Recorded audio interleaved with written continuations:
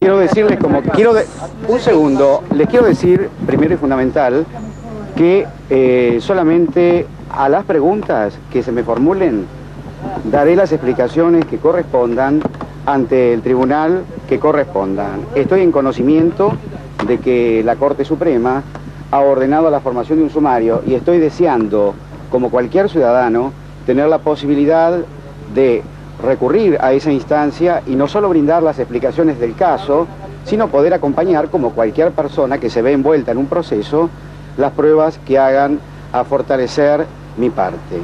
En lo que hace al delito de amenaza que se me está atribuyendo, quiero señalarles que con mis cuantos años en la justicia, casi 25 años en el Poder Judicial, conozco medianamente bien cuando una conducta es social y cuando deja de ser social y se convierte en antisocial y merecedora de un castigo. Por lo tanto, eh, sé conducirme, eh, creo hacerlo con toda corrección.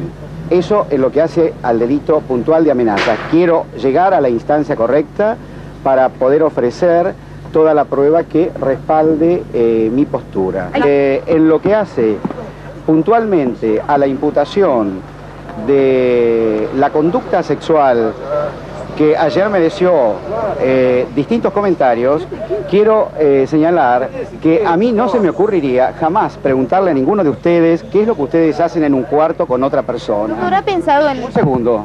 Y luego quiero decir que eh, en lo que también se me está imputando de haber enviado a matar al señor que, bueno, dice, dice esta, está dando esta afirmación, quiero decir puntualmente que deberían ustedes dirigirse al juzgado penal que está interviniendo, según me he enterado por ustedes mismos, a ver cuáles son las pruebas que obran a ese respecto.